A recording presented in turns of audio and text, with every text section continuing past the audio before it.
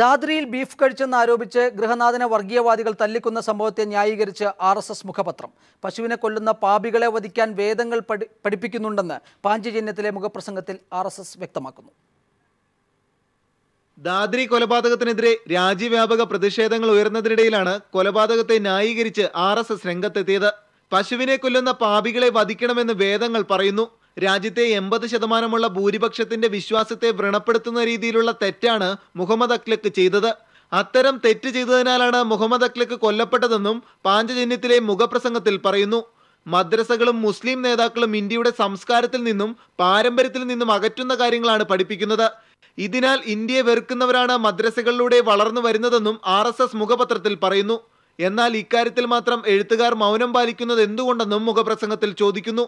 എന്നാൽ R S S മുഖപത്രത്തിലെ ലേഖനം രാജ്യവ്യാപക പ്രതിഷേധത്തിന് വഴിവെച്ചതോടെ മുഖപ്രസംഗം ലേഖകന്റെ മാത്രം അഭിപ്രായമാണെന്ന വിശദീകരണമാണ് ആർ എസ് എസ് നൽകിയത്. അതേസമയം പശുവിനെ കൊല്ലുന്നവർക്ക് വധശിക്ഷ നൽകണമെന്ന് B J P M P Sakshi Maharaj വാദമുന്നയിച്ചു ഇതിനിടെ ദാദ്രി സംഭവത്തിൽ വിവാദ പരാമർശങ്ങൾ നടത്തിയ സംഗീത് സോം മഹേഷ് ശർമ്മ മനോഹർലാൽ ഖട്ടർ എന്നിവരെ അധ്യക്ഷൻ അമിത് ഷാ ദില്ലിയിലേക്ക് വിളിപ്പിച്ചു. എന്നാൽ ചർച്ചയ്ക്ക് ശേഷം പ്രതികരിക്കാൻ നേതാക്കളാരും തയ്യാറായില്ല. അതേസമയം പശുവിനെ കൊന്നെന്നാരോപിച്ച് ജമ്മു കാശ്മീരിൽ ഹിന്ദുത്വവാദികൾ തല്ലിച്ചതച്ച് ചികിത്സയിലായിരുന്ന ഷാഹിദ് റസൂർ ഭട്ട് എന്ന പതിനാറ് വയസ്സുകാരനായ യുവാവ് മരണപ്പെട്ടു. ഷാഹിദിന്റെ മരണത്തിന് പിന്നാലെ കാശ്മീരിന്റെ വിവിധ ഭാഗങ്ങളിൽ സംഘർഷമുണ്ടായി. പ്രതിഷേധക്കാരുടെ നേരെ പോലീസ് കണ്ണീർ വാതകം പ്രയോഗിച്ചു. സംഭവത്തിൽ പ്രതിഷേധിച്ച് നാളെ ജമ്മു കാശ്മീരിൽ ബന്ദ് ആചരിക്കാൻ വിഘടനവാദി നേതാവ് യാസിൻ മാലിക് ആഹ്വാനം ചെയ്തു. News bureau Delhi.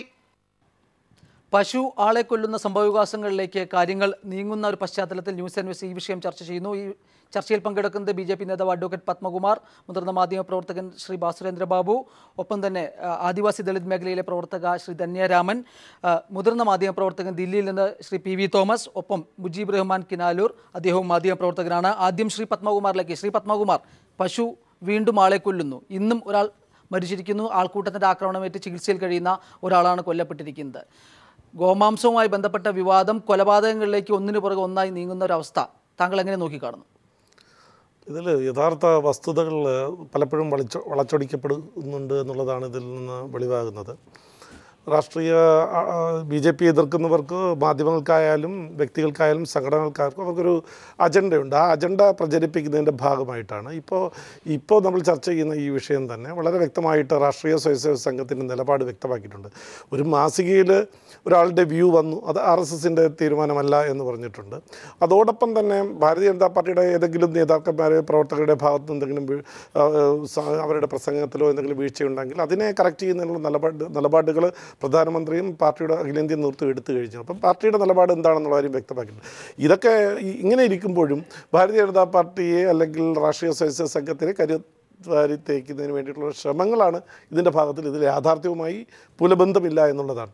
ഇപ്പോൾ ജമ്മു കാശ്മീരിൽ ഇപ്പോൾ ഉണ്ടായ സംഭവം ഈ ഒരു ഹർത്താലിനിടയ്ക്ക് ഇങ്ങനെ ഗോവധവുമായി ബന്ധപ്പെട്ട് ഉണ്ടായ പ്രശ്നത്തിന്റെ പേരിൽ ഒരു ഹർത്താൽ നടത്തി. ഹർത്താലിനിടയിൽ വാഹനത്തിൽ പശുക്കളെ കയറ്റി വന്നപ്പോൾ ഒരു മോബിന്റെ ഒരു ആക്രമണം ഉണ്ടായി. അങ്ങനെയാണ് കേരളത്തിൽ രാഷ്ട്രീയ പാർട്ടിയിൽ നടക്കുന്ന എത്രയോ ബന്ധുക്കളിടയിൽ ആളുകൾ മരണപ്പെട്ടിട്ടുണ്ടോ എണ്ണി എണ്ണി നമുക്ക് പറയാൻ കഴിയുമല്ലോ. അഡ്വക്കേറ്റ് പത്മകുമാർ ഒന്ന് ഇടപെട്ടോട്ടെ. രണ്ട് കാര്യങ്ങളാണ് ഇതിൽ വരുന്നത്. ഒന്ന് ദാദ്രി സംഭവവുമായി ബന്ധപ്പെട്ട് തന്റെ അനുയായികളെ അതായത് ശ്രീ നരേന്ദ്രമോദിയുടെ അനുയായികൾ എന്ന് പറയുന്ന ജനപ്രതിനിധികളെ നിയന്ത്രിക്കാനാകാത്തൊരവസ്ഥ ബി ജെ പിക്ക് ഉണ്ടാകുന്നു.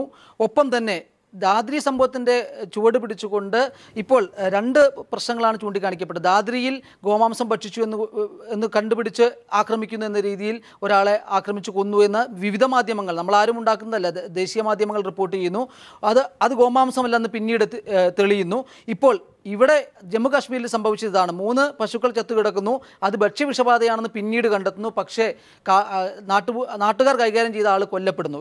ഇത്തരത്തിൽ മൃഗീയമായ കൊലപാതകങ്ങളിലേക്ക് ഗോമാംസം സംബന്ധിച്ച ചർച്ച നീങ്ങുന്നത് അതിനെ തടയാൻ അധികാരികൾക്ക് കഴിയുന്നില്ല എന്നുള്ളതും ഒരു വാസ്തവല്ലേ?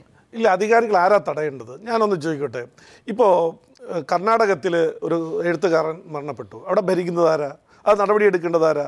രണ്ടായിരത്തി പതിമൂന്നിൽ നമ്മുടെ മഹാരാഷ്ട്രയിലൊരു കലാ ഒരു സാഹിത്യകാരൻ കൊല്ലപ്പെട്ടു. അന്ന് അവിടെ ഭരിക്കുന്നതാരാ കേന്ദ്രം ഭരിക്കുന്നതാരാ ഇതൊക്കെ മോഡിയാണോ?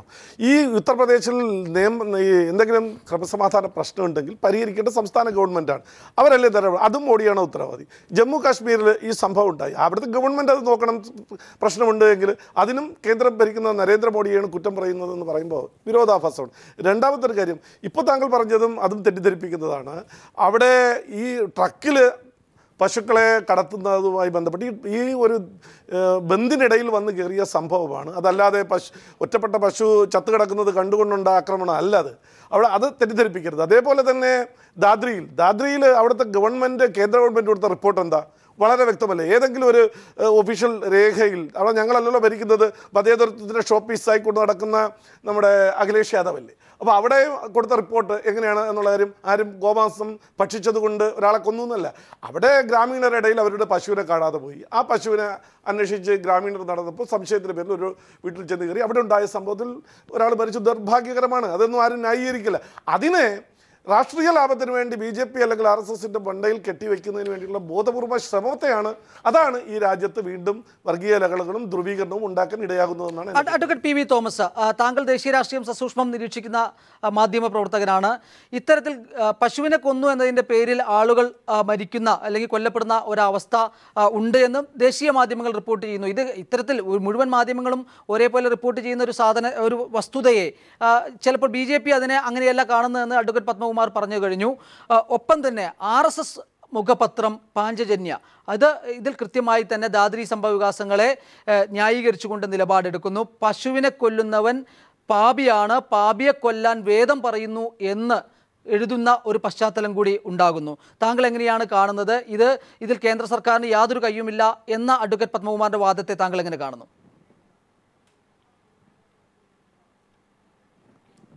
അഡ്വക്കേറ്റ് പത്മകുമാറിന്റെ ഭാഗത്തോട് ഞാൻ യോജിക്കുന്നില്ല. അദ്ദേഹം ഇതിനെ വളരെ ലഘൂകരിക്കാൻ ശ്രമിക്കുകയാണ്. സ്വാഭാവികമാണത് അദ്ദേഹം ബി ജെ പിക്കാരനാണ്. അദ്ദേഹത്തിന് ലഘൂകരിച്ചേ പറ്റൂ. പക്ഷേ ഇങ്ങനെയുള്ള സംഭവങ്ങൾ ഒറ്റപ്പെട്ട സംഭവങ്ങളല്ല.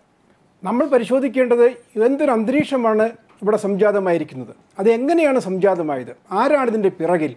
എന്തുകൊണ്ട് ഇതുപോലുള്ള ശക്തികൾക്ക് ധൈര്യം കിട്ടുന്നു?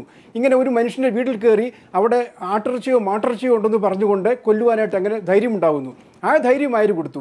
അത് ക്രിയേറ്റ് ചെയ്ത സിറ്റുവേഷൻ എന്ന് പറയുന്നത് ഇപ്പോൾ മോഡി ഭരിക്കുന്ന ഗവൺമെന്റിന്റെ സിറ്റുവേഷനാണ് ക്രിയേഷനാണത് അത് നമുക്ക് മറക്കുവാൻ ഒരിക്കലും സാധിക്കില്ല പിന്നെ പശുവിനെ കൊല്ലുന്നവരെ കൊല്ലണമെന്ന് വേദങ്ങളിൽ പറഞ്ഞിട്ടുണ്ടെന്ന് ആർ എസ് എസിന്റെ മുഖപത്രമായ പാചന്യത്തിൽ പറയുന്നു.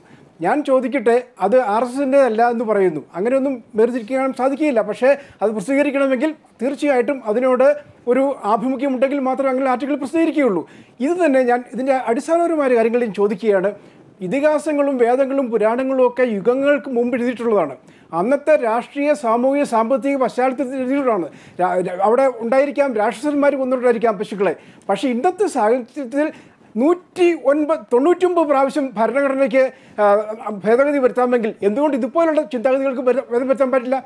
മണൽത്തരികളെ പോലെ നിങ്ങൾ പെറ്റുവരിക എന്ന് ബൈബിളിൽ പറഞ്ഞിട്ടുണ്ട്. അല്ലെങ്കിൽ അഞ്ച് ഭാര്യമാരെ കൊള്ളാം ആ, നിങ്ങൾക്ക് ആകാമെന്ന് പറയുന്നുണ്ട്. ഇതൊക്കെ മനുഷ്യൻ മാറ്റുന്നില്ലേ?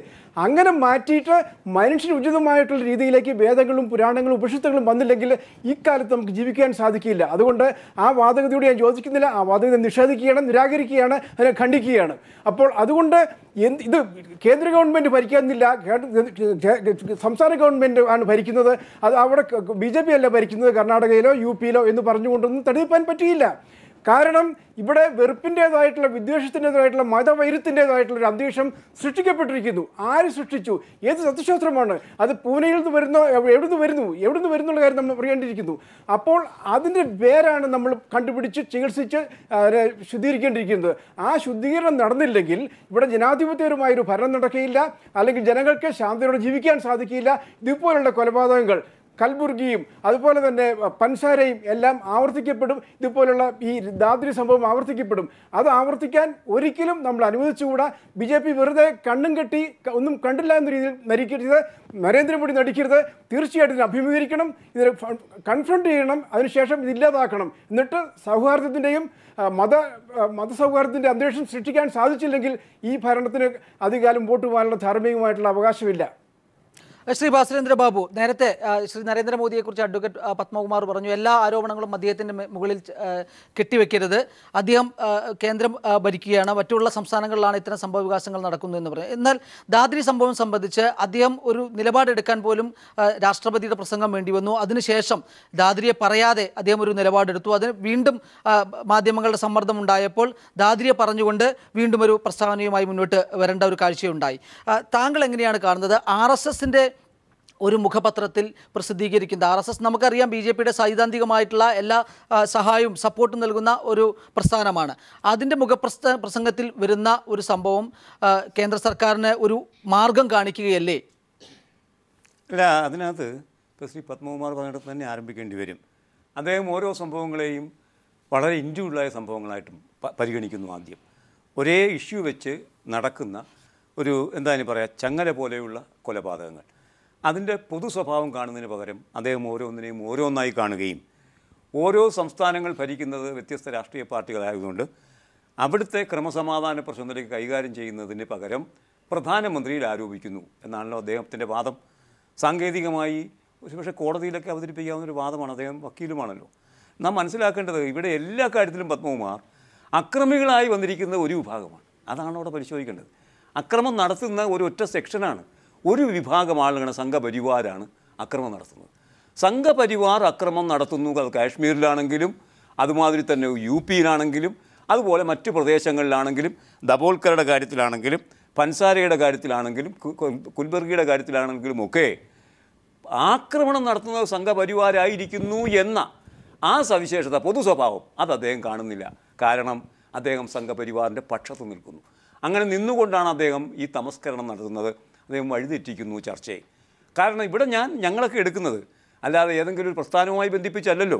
മറിച്ച് ഈ ആക്രമണം നടത്തുന്ന ഒരേ വിഭാഗം ആളുകളായതുകൊണ്ട് അങ്ങനെ ആക്രമണം നടത്താൻ പാകത്തിൽ നേരത്തെ സംസാരിച്ച അദ്ദേഹം പറഞ്ഞതുമാതിരി തന്നെ പത്രപ്രവർത്തകൻ പറഞ്ഞതുമാതിരി തന്നെ ആ നിലയ്ക്ക് അവരെ കയറൂരി വിട്ടിരിക്കുന്നത് ആരാണ്? ഈ ക്ഷാത്രബോധം അവരിൽ നിറച്ച് ഈ വർഗ വർഗീയ വൈരുദ്ധ്യം സൃഷ്ടിക്കൊണ്ട് സൃഷ്ടിക്കാൻ അവരോട് പ്രത്യക്ഷമായോ പരോക്ഷമായോ ആഹ്വാനം ചെയ്തത് ആരാണ്? അത് ഗുജറാത്തിലെ സംഭവത്തിന്റെ പശ്ചാത്തലത്തിൽ തന്നെയാണ് പരിശോധിക്കേണ്ടത്.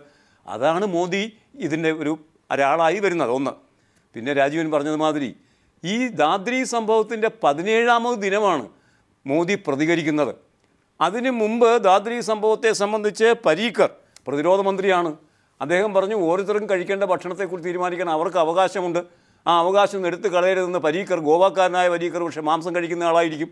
അദ്ദേഹം അത് പറയുമ്പം അത് ഒരു മാസം മുന്നേ പറഞ്ഞിരുന്നെങ്കിൽ ഈ എന്താ പറയുക നമുക്ക് മനസ്സിലാക്കാൻ കഴിയും അഖിലൊക്കെ കൊലപ്പെടുമായിരുന്നില്ല. അപ്പോൾ ആ അർത്ഥത്തിൽ എല്ലാം കഴിഞ്ഞതിന് ശേഷം ഇനി മോദി പറഞ്ഞപ്പോഴെന്താണ് പത്മോർ അതും ശ്രദ്ധിക്കണം. മോദി പറഞ്ഞപ്പം ഹിന്ദുക്കളും മുസ്ലിങ്ങളും തമ്മിൽ ഏറ്റുമുട്ടരുത് എന്നാണ് പറഞ്ഞത്. എവിടെയാണ് മുസ്ലിങ്ങൾ ഹിന്ദുക്കളുമായി ഏറ്റുമുട്ടിയത്? അവരെയാണല്ലോ കൊന്നു തള്ളുന്നത്. അപ്പോൾ ആ അർത്ഥത്തിൽ ഏറ്റുമുട്ടരുത് എന്ന് പറയുമ്പോൾ ഏറ്റുമുട്ടുന്ന രണ്ട് സെക്ഷനിൽ ഒരു വിഭാഗമാണ് മുസ്ലിം എന്ന് വരുത്തി തീർക്കുകയാണ്. ഇവിടെ നമ്മൾ കുറച്ച് മുമ്പേ ഒരു വേറൊരു വാർത്ത കൂടി നിങ്ങൾ ഇവിടെ അവതരിപ്പിച്ചിരുന്നു. മുസ്ലിം ആണെങ്കിൽ അല്ലെങ്കിൽ പാകിസ്ഥാൻകാരനാണെങ്കിൽ കൊല്ല എന്നാണല്ലോ പറയുന്നത്. അടിക്കാം. അപ്പം പാകിസ്ഥാൻകാരനാണെന്ന് വിചാരിച്ചു മലയാളി യുവാവിനെ അടിച്ചത് പാകിസ്ഥാൻകാരനാണ് അടിക്കാമെന്നാണ് വിചാരിക്കുന്നത്. ഇതെല്ലാം എല്ലാ സംഭവഗതികളും ഒന്നിനു പിറകെ ഒന്നായി ചങ്ങല പോലെ വരികയും എല്ലായിടത്തും ആക്രമണകാരികൾ സംഘപരിവാരായിരിക്കുകയും ചെയ്യുന്നതിനെക്കുറിച്ച് പത്മകുമാറിന് എന്താണ് പറയാനുള്ളത്? ശ്രീ പത്മകുമാർ ഞാൻ ചില പേരുകൾ കൂടി പറയാം. ഇന്ന് മോദിയും അമിത്ഷായും ശാസിച്ചു എന്ന് പറയുന്ന പേരുകൾ. ഹരിയാന മുഖ്യമന്ത്രി മനോഹർലാൽ ഖട്ടർ കേന്ദ്ര സാംസ്കാരിക മന്ത്രി Mahesh Sharma M L A ഉത്തർപ്രദേശിലെ സംഗീത് സോം. സംഗീത് സോമിനെ നമുക്കറിയാം. നമ്മൾ തന്നെ കൊടുത്ത വാർത്ത അറിയാം. അൽദുവ എന്നുള്ള മാംസ കമ്പനിയുടെ ഒരു ആദ്യം ഷെയർ ഹോൾഡർ ആയിരുന്നു. അതിനുവേണ്ടി ഭൂമി വാങ്ങിയത് അദ്ദേഹമാണ് എന്ന് പറഞ്ഞു. പിന്നെ എല്ലാ ഇപ്പോഴും വിവാദത്തിൽപ്പെടുന്ന B J P M P Sakshi Maharaj.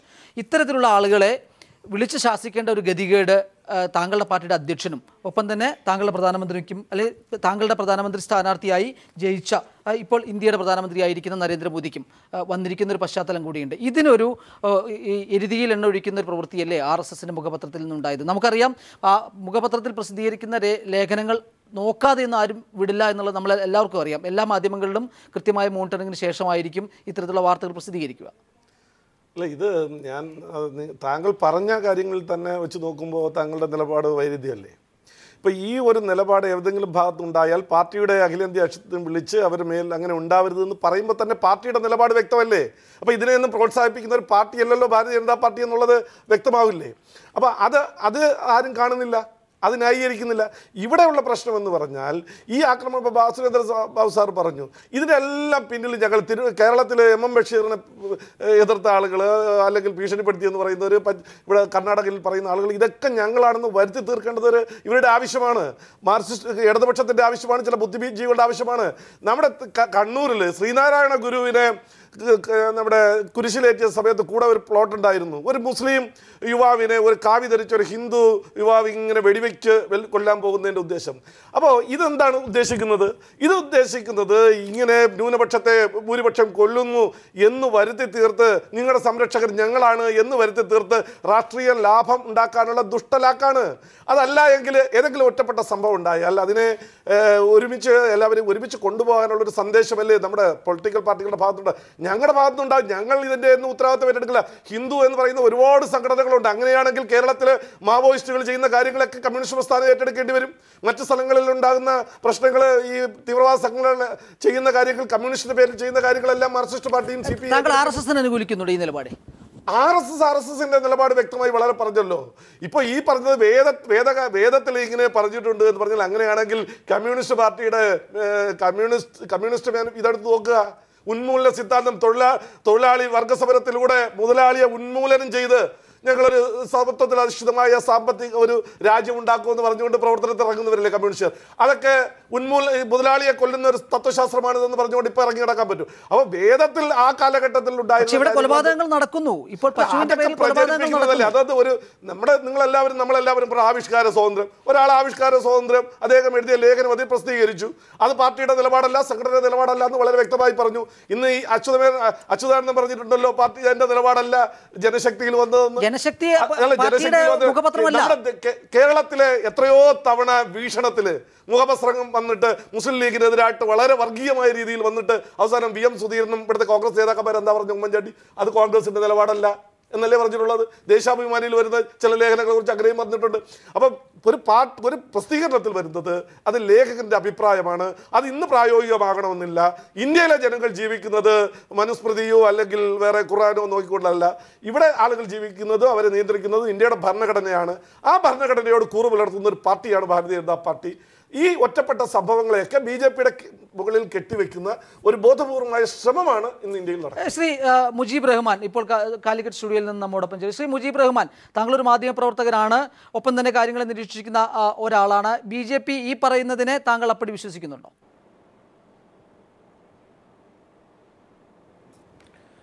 വളരെ വിചിത്രമാണ് ശ്രീ ഗോപാലകൃഷ്ണൻ ഉന്നയിച്ചിട്ടുള്ള വാദങ്ങൾ എന്ന് ശ്രീ തോന്നുകയാണ്. പത്മകുമാർ. കാരണം അദ്ദേഹം പറഞ്ഞൊരു കാര്യം B J P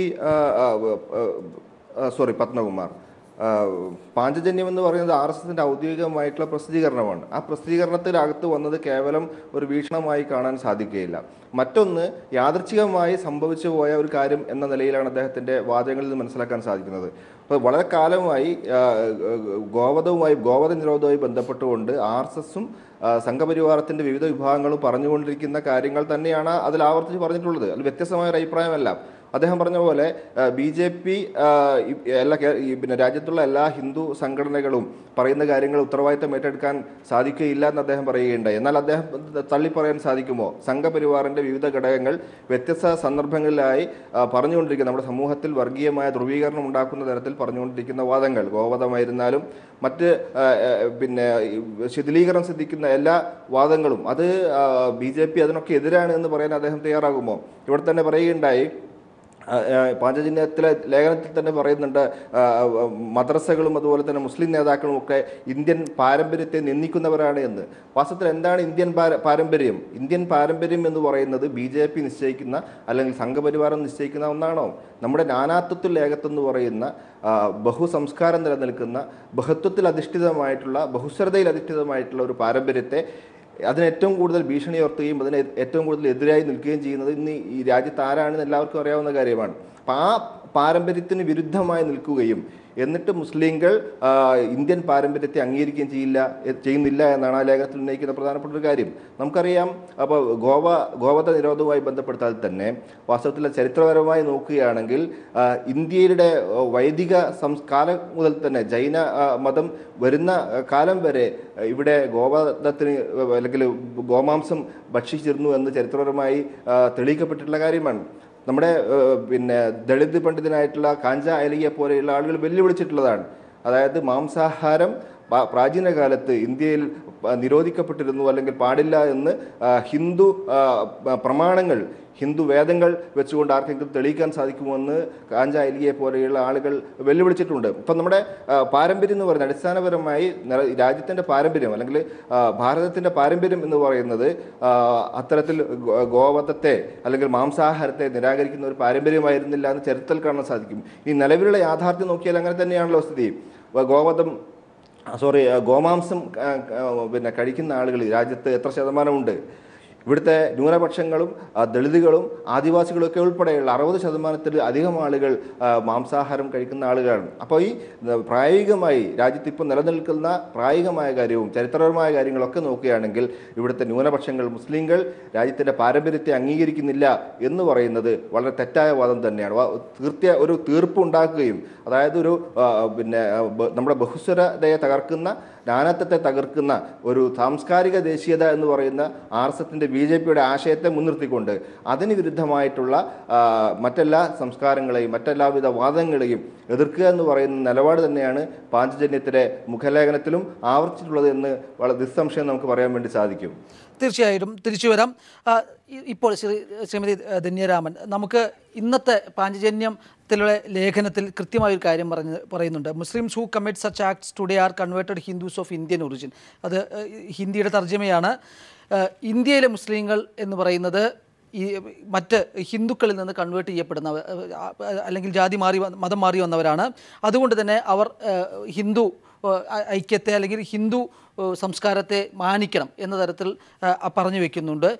കൃത്യമായി പറഞ്ഞാൽ ഒരു പക്ഷേ നമുക്ക് മുന്നോട്ട് വയ്ക്കാവുന്ന ഒരു ഇത് താങ്കൾ ആദിവാസി ദളിത് വിഭാഗത്തിൽ പ്രവർത്തിക്കുന്ന ഒരു പ്രവർത്തകയാണ്.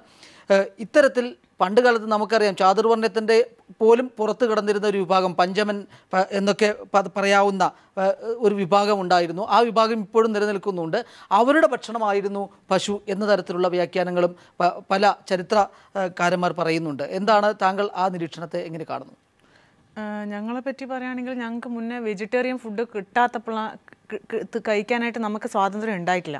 അപ്പോൾ ആ വെജിറ്റേറിയൻ ഫുഡ് കഴിക്കാൻ സ്വാതന്ത്ര്യം ഇല്ലാത്തപ്പോഴാണ് നമ്മൾ ഓട്ടോമാറ്റിക്കായിട്ട് നമ്മൾ എലി തൊട്ട് എന്താണ് പുലി വരെ തിന്നുന്ന ആളുകളാണെന്ന് പറയുന്നത്. അതിനകത്ത് എല്ലാ മൃഗങ്ങളും ഉൾപ്പെട്ടുകൊണ്ടിരുന്നു. അപ്പോൾ ആ- ഒരു സാഹചര്യത്തിലാണ് ഈ നോൺ വെജിലേക്ക് നമ്മൾ പോകുന്നത്. പക്ഷെ കേരളത്തിന്റെ സംബന്ധിച്ചും വ്യത്യാസം എന്താണെന്ന് വെച്ച് കഴിഞ്ഞാൽ കേരളത്തിൽ ഒരുപാട് സാംസ്കാരിക നേതാക്കന്മാർ ഞങ്ങളുടെ കമ്മ്യൂണിറ്റിയിൽ ഉണ്ടായിട്ടുണ്ട്. അയ്യങ്കാളിയെ പോലെ അല്ലെങ്കിൽ നാരായണ ഗുരുവിനെ പോലെ അല്ലെങ്കിൽ വൈകുണ്ഠര സ്വാമികളെ പോലെ അയ്യർ സ്വാമികളെ പോലെ എന്താണ് അപ്പച്ചനെ പോലെ പൊയ്കയിൽ അപ്പച്ചനെ പോലെയൊക്കെയുള്ള ഒരുപാട് ആളുകൾ ഞങ്ങളുടെ ഇടയിൽ പ്രവർത്തിച്ചുകൊണ്ട് ഇവിടെ മറ്റ് കൂടുതലായിട്ടുള്ള ഒരു അടിച്ചേൽപ്പിക്കാൻ ഞങ്ങൾക്ക് ഞങ്ങളെ ഞങ്ങളെ മേൽ ഇന്നത് ചെയ്യണമെന്ന് അടിച്ചേൽപ്പിക്കാൻ ഇപ്- അവർക്ക് പറ്റൂല. ഇപ്പോഴും അത് പറ്റൂല. ഇപ്പോഴും ആര് എന്ത് കഴിക്കണം എന്ത് എന്ത് കഴിക്കണം കഴിക്കണം എന്ന് വെച്ചാൽ ഞങ്ങളാണ് അത് തീരുമാനിക്കുന്നത്. പക്ഷേ നോർത്തിലേക്ക് പോകുമ്പോഴുള്ള പ്രശ്നം എന്ന് വെച്ചാൽ അവിടെ ഒരിക്കലും നല്ലൊരു സാമൂഹിക നേതാക്കന്മാരുണ്ടാകാത്തതിന്റെ ഒരു വലിയ പോരായ്മ നോർത്ത് ഇന്ത്യനെ സംബന്ധിച്ചുണ്ട് അതുകൊണ്ടാണ് അവിടുത്തെ ദളിതർക്കും ആദിവാസികൾക്കും എപ്പോഴും അറുപത് അവിടെ ഇന്ത്യയിൽ തന്നെ ഇരുപത്തഞ്ച് ശതമാനം ദളിതരും ആദിവാസികളുമാണ്. അപ്പോൾ അതിനകത്ത് ഈ നോർത്ത് ഇന്ത്യയിലുള്ളവർക്ക് ഒരിക്കലും ഈ ഒരു ഈ സാഹചര്യങ്ങളെ ഓവർകം ചെയ്യാൻ പറ്റാത്തത് അവിടെ നല്ലൊരു രീതിയിലുള്ള സാമൂഹ്യ പ്രവർത്തനം ആരും നടത്താൻ പറ്റത്തില്ല. ചില അടിച്ചമർത്തലുകൾക്ക് അവർ വിധേയമായിക്കൊണ്ടിരിക്കുകയാണ്. അതുകൊണ്ടാണ് അവർക്ക് അവർക്ക് ഇന്നത് കഴിക്കണം എന്ന് അല്ലെങ്കിൽ ഈ ഇപ്പോൾ ഈ അക്കീലാക്ക് മരിക്കുന്നതിന് മുന്നേ ഇപ്പോഴൊന്നുമില്ല ഒരു ആറ് വർഷം മുമ്പേ കോൺഗ്രസ് പാർട്ടി തന്നെ ഹിന്ദു ഒരു ഹിന്ദുത്വം ഒരു മൃദുത്വം എന്നൊക്കെ പറയുന്ന അങ്ങനത്തെ ഒരു വേർഡ് ഉപയോഗിക്കാൻ അപ്പോൾ അത് അത് അതൊക്കെ കൊണ്ട് അവർ എന്താണ് മുന്നേ പല സംസ്ഥാനങ്ങളിലും ഗോവധം കോൺഗ്രസ് ഉള്ളപ്പോൾ തന്നെ നിരോധിച്ചിട്ടുണ്ട്.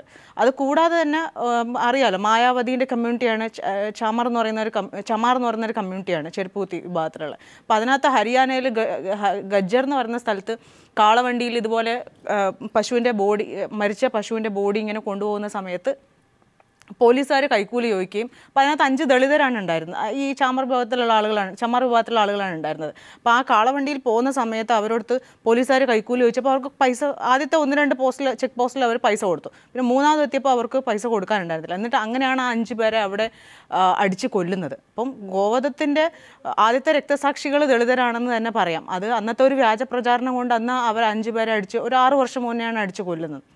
അപ്പം അത്തരത്തിൽ ഇന്ന് ഈ കേരളത്തിൽ അങ്ങനത്തെ ഒരു സാഹചര്യം ദളിതർക്കും ആദിവാസികൾക്കും വരില്ല എന്ന് ഞങ്ങൾ ഉറച്ചു പറയുന്നുണ്ട്. കാരണം ഞങ്ങൾ ശക്തരാണ്. ഞങ്ങൾ പണ്ടത്തെ പോലെയല്ല. ഞങ്ങൾ അണ്ടർഗ്രൗണ്ടിൽ നല്ല വർക്കൗട്ട് നടത്തി കഴിഞ്ഞു. ഞങ്ങളുടെ മേലിൽ ഒരു രാഷ്ട്രീയ പാർട്ടികൾക്കും ആർക്കും സ്വാധീനം ചിലപ്പോൾ ഒരു വിഭാഗം ഇപ്പോഴും ഓരോ പാർട്ടികളുടെ കൂടെ ഉണ്ടെന്നെങ്കിലും ഞങ്ങളുടെ വർക്ക് ഭയങ്കര സ്ട്രോങ് ആണ്. ഞങ്ങൾ എവിടെയും കയറി പ്രതികരിക്കാനും ഞങ്ങളുടെ അവകാശങ്ങൾ വാങ്ങിയെടുക്കാനും പ്രാപ്തരായി കഴിഞ്ഞു. അതുകൊണ്ട് ഇന്നത് കഴിക്കണം കഴിക്കേണ്ട എന്നുള്ളത് ഞങ്ങൾ ഞങ്ങൾ തീരുമാനിക്കും.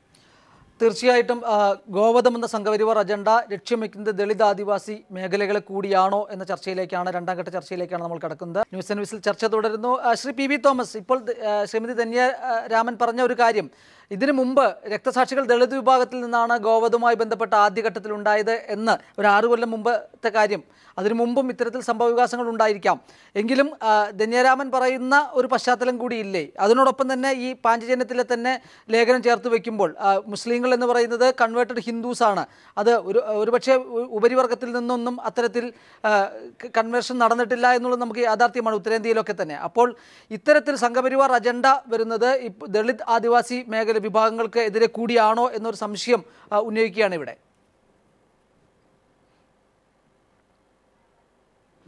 അത് തീർച്ചയായിട്ടും ശരിയാണ്. ഇതിൽ ധന്യ പറഞ്ഞ പോലെ ധന്യ പറഞ്ഞ പോലെ തന്നെ അത് തീർച്ചയായിട്ടും ടാർഗറ്റ് ചെയ്യുന്നത് മൈനോറിറ്റീസിനെയും അതുപോലെ തന്നെ ട്രൈബൽ വിഭാഗത്തെയൊക്കെയാണ് അപ്പോൾ ഇവിടെ ഉദിക്കുന്ന ഒരു ചോദ്യം നിങ്ങൾ ഭക്ഷണം കൊടുക്കാൻ നിങ്ങൾക്ക് സാധിക്കുന്നില്ല ആദിവാസികൾക്കോ അതുപോലുള്ള ആൾക്കാർക്കോ. പക്ഷേ നിങ്ങൾ എന്ത് ഭക്ഷിക്കണം അല്ലെങ്കിൽ എന്ത് ഭക്ഷിക്കാൻ പാടില്ല എന്ന് പറയുന്നു. എന്ത് ധാർമ്മികതയാണ് അതിലുള്ളത്? എന്ത് എന്ത് നീതിയാണ് അതിലുള്ളത്? അത് പറയുവാൻ ഒരു ഗവൺമെന്റും ഒരു കാരണവശാലും ഒരു അവകാശവുമില്ല. അതാണ് ചെയ്യുന്നത്. ഇപ്പം ഇപ്പം വരുന്ന കോലാകാലത്തെക്കുറിച്ച് പറയുമ്പോൾ സത്യം പറഞ്ഞു കഴിഞ്ഞാൽ എനിക്ക് ചിരിയാണ് വരുന്നത്. നിങ്ങൾ ഒരു ആർ എസ് എസ് മുൻ ആർ എസ് എസ് സ്വയം സേവകനെ പ്രധാനമന്ത്രിയാക്കി.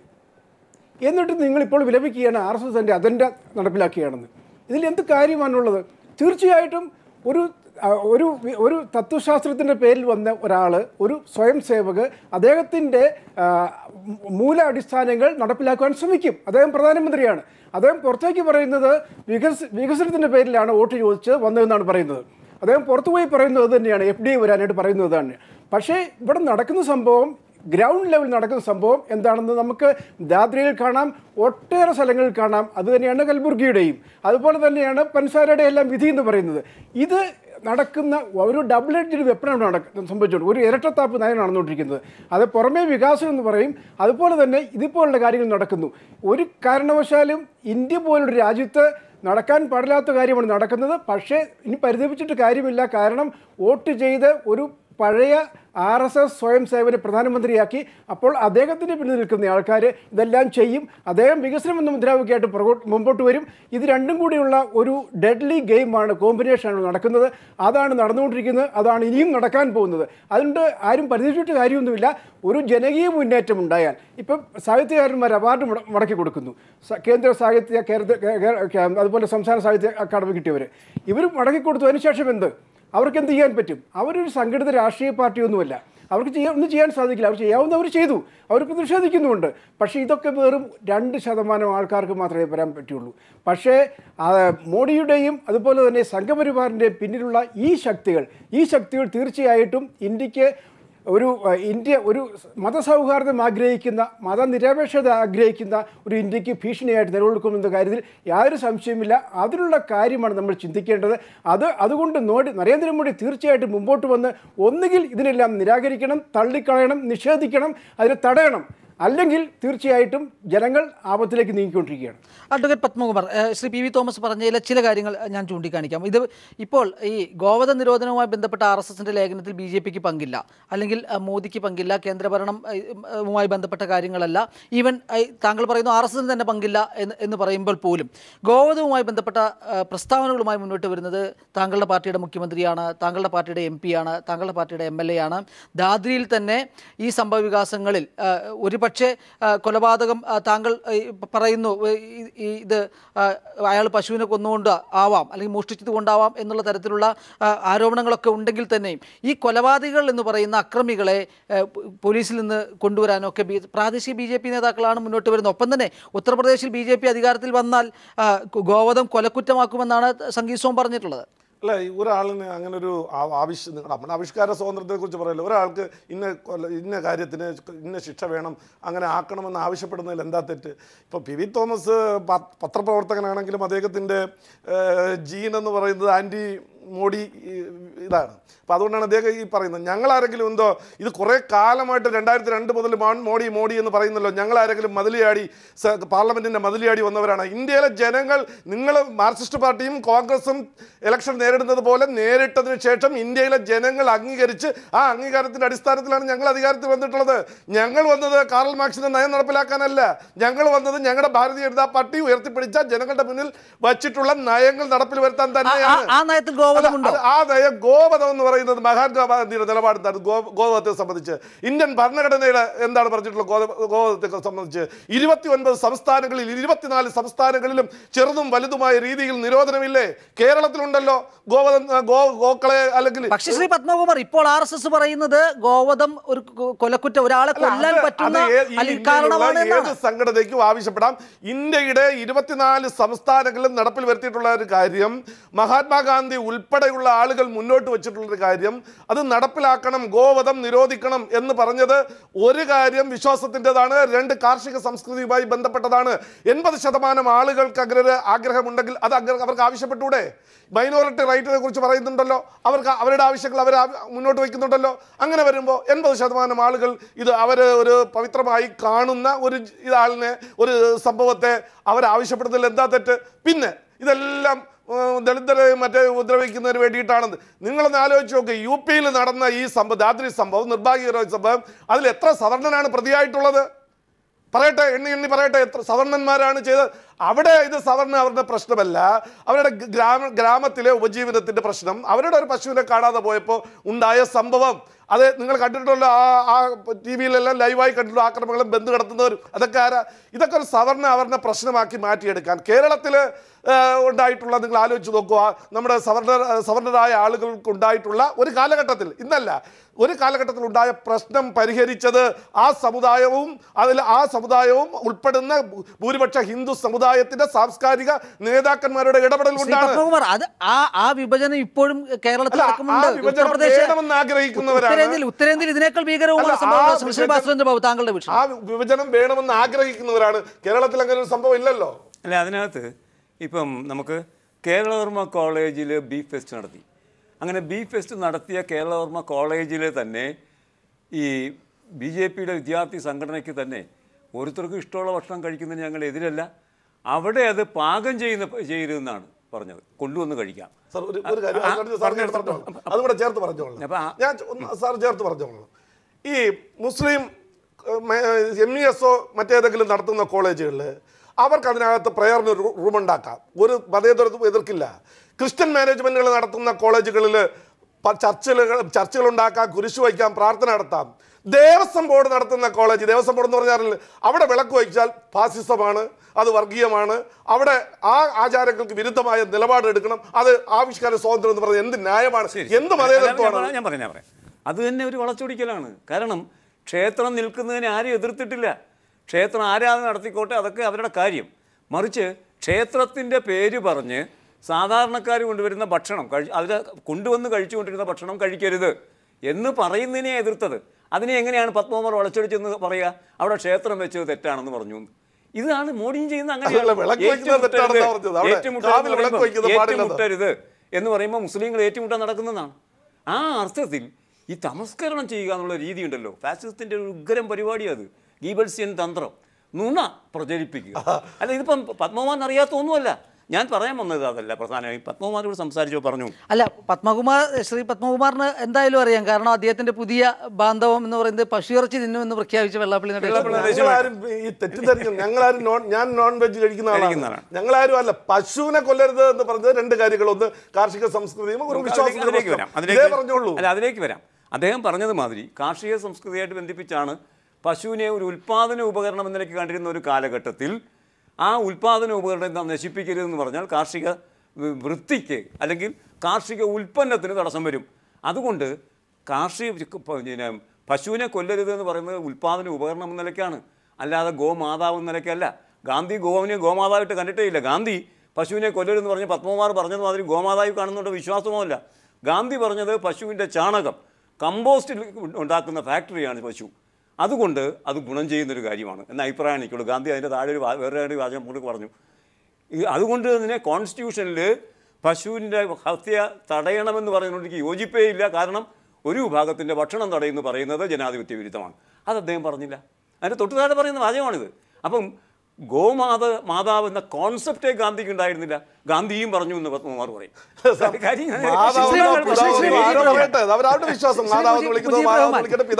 എൺപത് ശതമാനം ഭൂരിപക്ഷത്തിന്റെ ഇംഗിതങ്ങൾക്ക് വേണമെങ്കിൽ വഴങ്ങി കൊടുക്കാവുന്നതാണ് ന്യൂനപക്ഷത്തിന് എന്നാണ് എന്നൊരു വാദം കൂടിയാണ് ബി ജെ പി മുന്നോട്ട് വയ്ക്കുന്നത്.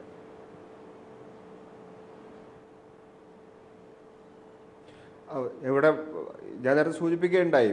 ഈ എൺപത് ശതമാനം എന്ന് പറഞ്ഞുള്ള വ്യാജമായ ഒരു കണക്കാണ്. നമുക്കറിയാം ഇന്ത്യയിൽ പിന്നെ ഗോവധം അല്ലെങ്കിൽ അല്ല ഗോമാംസം ആയിരുന്നാലും മാംസാഹാരികളുടെ തന്നെ കണക്ക് തന്നെ എടുത്തു നോക്കുകയാണെങ്കിൽ ആ ആ വാദം വളരെ പൊള്ളയാണെന്ന് കാണാൻ വേണ്ടി സാധിക്കും. നമുക്കറിയാം ഇന്ത്യയിൽ മഹാഭൂരിപക്ഷം ആളുകളും മാംസം ആഹരിക്കുന്ന ആളുകളാണ്. മാത്രമല്ല ഗോമാംസത്തിന്റെ തന്നെ നമുക്കറിയാം ഇവിടെ പറഞ്ഞ പോലെ ഇന്ന് കാർഷിക ഉൽപ്പന്നം എന്ന നിലയിലല്ല.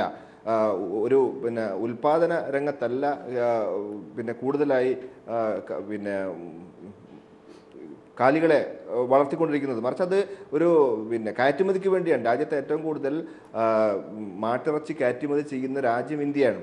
അപ്പൊ ആ ആ രംഗത്താണ് ഇന്ത്യ കൂടുതൽ കൂടുതലായി അതൊരു പക്ഷേ മോഡി സർക്കാരിന്റെ കാലത്ത് അത് അതിൽ വർധന വന്നിട്ടുണ്ട്. സ്ഥാനത്തേക്ക് ഇന്ത്യ മാറിയിട്ടുണ്ട്.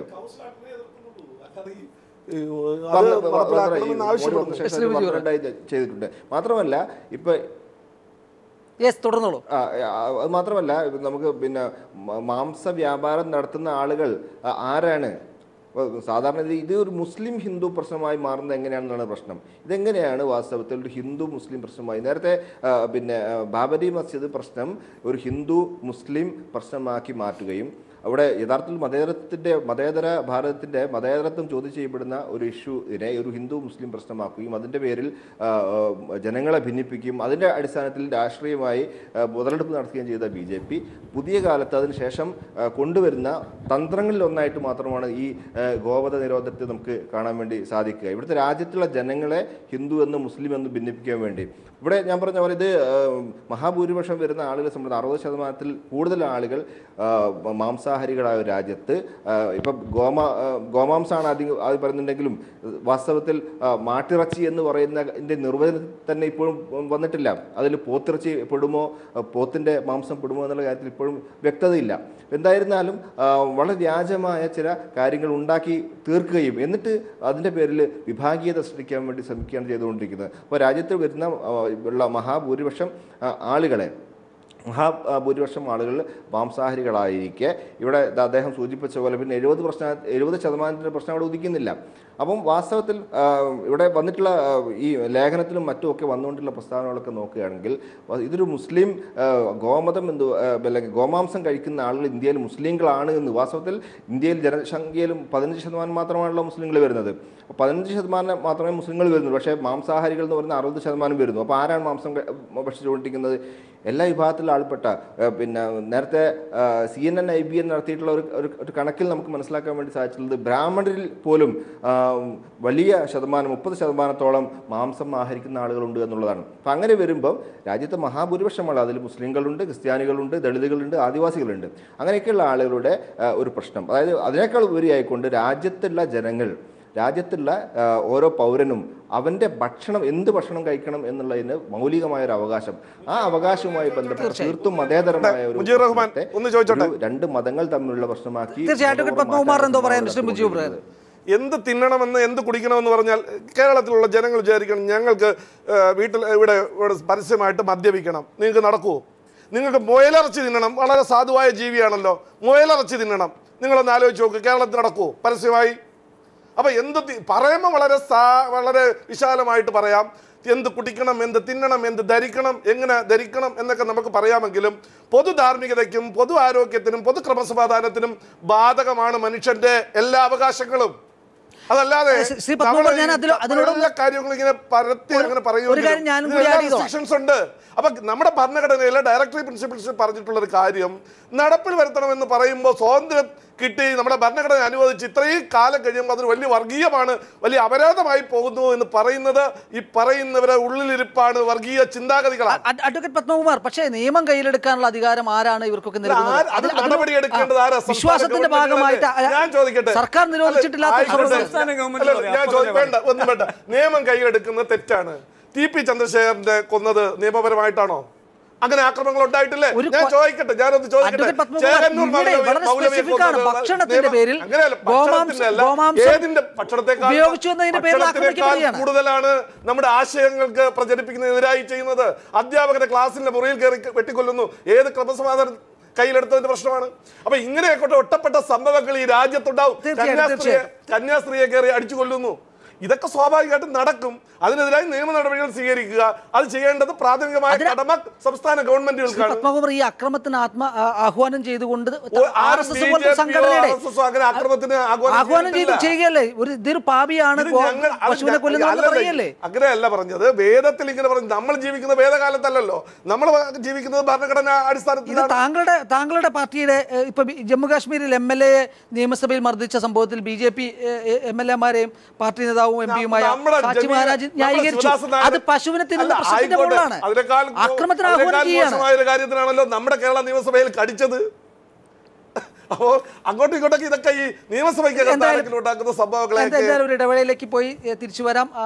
ഇത് അവസാന ഘട്ടത്തിലേക്ക് ചർച്ച കിടക്കുക ശ്രീ പി വി തോമസ് അത് അവസാന ഘട്ടമാണ് സമയപരിമിതിയുണ്ട് എങ്കിൽ പോലും വളരെ സ്പീഡിൽ ഒരു ഉത്തരത്തിന് വേണ്ടിയിട്ട്. ഇന്നിപ്പോൾ അമിത്ഷായും നരേന്ദ്രമോദിയും ഇത്തരത്തിൽ വർഗീയ വിരുദ്ധ വിര- വികാരം ആളിക്കത്തിക്കുന്നു എന്ന് പറയുന്ന പ്രസ്താവന നടത്തിയ ആൾക്കാരെ കണ്ടു. ആ സമീപനത്തിൽ തങ്ങൾ ഏതെങ്കിലും തരത്തിലുള്ള ആത്മാർത്ഥത കാണുന്നുണ്ടോ? ആ വാർത്ത എത്രമാത്രം സത്യമാണെന്ന് എനിക്കറിയില്ല. സത്യമാണെങ്കിൽ നല്ലൊരു കാര്യമാണ്. അങ്ങനെ പറഞ്ഞുവെങ്കിൽ വാണിംഗ് ചെയ്തെങ്കിൽ മുന്നറിയിപ്പ് നൽകിയെങ്കിൽ എന്തിങ്ങനെ ചെയ്തു? അതിന് പര്യാപ്തമാണോ? അത് തടയുവാൻ പര്യാപ്തമാണോ എന്നുള്ള കാര്യം ഒന്ന് പരിശോധിക്കേണ്ടിയിരിക്കുന്നു. ഏതായാലും ആ വാർത്ത പരിശോധിച്ചതിന് ശേഷം മാത്രമേ എനിക്ക് വിശ്വസിക്കാനാവൂ. അതാണോ യു പി ഇലക്ഷനെ കുറിച്ചാണ് സംസാരിച്ചത്? യു പി ഇലക്ഷനെ കുറിച്ചാണ് സംസാരിച്ചതെന്നാണ് അവർ പറഞ്ഞത്. അപ്പോൾ അങ്ങനെയാണെങ്കിൽ അവർ മാറി മാറിപ്പറയുകയാണ്. ഏതായാലും ഈ കാര്യം പ്രത്യേകിച്ചും ബീഹാറിൽ തെരഞ്ഞെടുപ്പ് നടക്കുമ്പോൾ തീർച്ചയായിട്ടും മോഡിയെ വളരെയധികം ബാധിക്കുന്ന ഒരു കാര്യമാണ് അദ്ദേഹം അതുകൊണ്ട് പറഞ്ഞിരിക്കാം. പക്ഷേ തെരഞ്ഞെടുപ്പിന്റെ ഒരു സ്ട്രാറ്റജി ആയിട്ടല്ല ഇത് കാണേണ്ടത് മോഡി മോഡി തീർച്ചയായിട്ടും. മോഡി കാണേണ്ടത് ഇത് ഇന്ത്യയിൽ വളർന്നു വരുന്ന ഒരു വളരെ ജെന്യൂൻ ആയിട്ടുള്ളൊരു ഭീഷണിയാണ്. ഈ ഭീഷണി അദ്ദേഹം ഒരു പ്രധാനമന്ത്രി എന്ന നിലയിൽ ജനങ്ങളുടെ നൂറ്റി ഇരുപത് കോടി ജനങ്ങളുടെ പ്രധാനമന്ത്രി എന്ന നിലയിൽ അദ്ദേഹം തടയണം. തടഞ്ഞില്ലെങ്കിൽ വലിയൊരു ഭവിഷ്യത്തിലേക്കാണ് ഇന്ത്യ നീങ്ങിക്കൊണ്ടിരിക്കുന്നത്. അഡ്വക്കേറ്റ് പത്മകുമാർ പഴയ സ്വയംസേവകൻ ആണ് എന്ന ധാരണയിൽ നിന്ന് പ്രധാനമന്ത്രി മുക്തനായി എന്ന് താങ്കൾക്ക് തോന്നുന്നുണ്ടോ? അല്ലല്ല സ്വയംസേവൻ ആയതുകൊണ്ടാണല്ലോ അദ്ദേഹം പ്രധാനമന്ത്രി ആയത്. ഇത്രയും സൽഭരണം വളരെ എല്ലാ ജനങ്ങൾക്കും തൃപ്തികരമായ രീതിയിൽ. കഴിഞ്ഞൊരു നാഷണൽ ടെലിവിഷൻ നടത്തി മീഡിയ നടത്തിയ സർവേയിൽ എൺപത്തിരണ്ട് ശതമാനം ആളുകളാണ് സംതൃപ്തി രേഖപ്പെടുത്തിയിട്ടുള്ളത്.